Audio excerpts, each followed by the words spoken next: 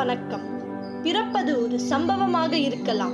இறப்பது என்பது ஒரு சரித்திரமாக இருக்க வேண்டும் என்று அடைமொழிக்கேற்ப வாழ்ந்தவர்.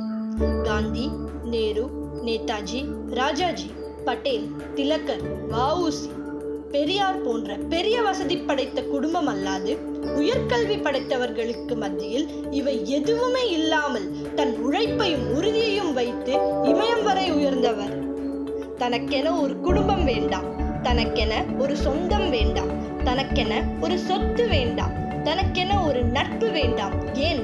பெற்ற அன்னையின் அரவணைப்பு கூட வேண்டாம் என்று பற்றற்ற ஞானியாக அரசியலில் திகழ்ந்தவர். படிக்காத மேதை கர்ம வீரர் தென்னாட்டு காந்தி பெருந்தலைவர் என தமிழர்களால் அன்போடு அழைக்கப்படுபவர் காமராஜர். இவரது ஆட்சி காலம்தான் தமிழகத்தின் பொற்காலம் என பலராலும் போற்றப்படுகிறது. அத்தகைய மாமனிதரை பற்றி பலரும் அறியாத சிறுகதை ஒன்றை காண்போம். காமராஜர் தமிழக முதல்வராக இருந்த காலகட்டத்தில் தமிழ்நாட்டில் ஒரு சர்க்கரை ஆலை தொழிற்சாலையும் இல்லை. இதனால் அவர் பத்து தொழிற்சாலைகளை திறக்க எண்ணினார்.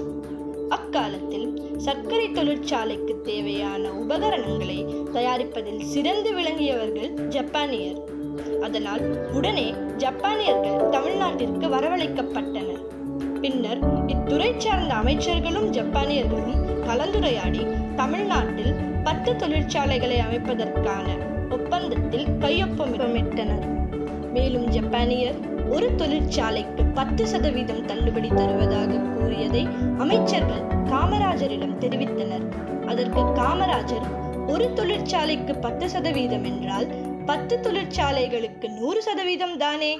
எனவே அத்தொகையை வைத்து ஒரு புதிய தொழிற்சாலையை அமைத்து விடலாம் என புத்திசாலித்தனமாக கூறினார்.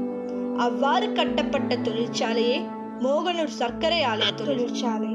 இன்றைக்கு தமிழகம் கண்டுள்ள பல வளர்ச்சிகளுக்கும் பிள்ளையார் சொல்லி போட்டவர் இந்த கருப்பு தங்கம்தான்.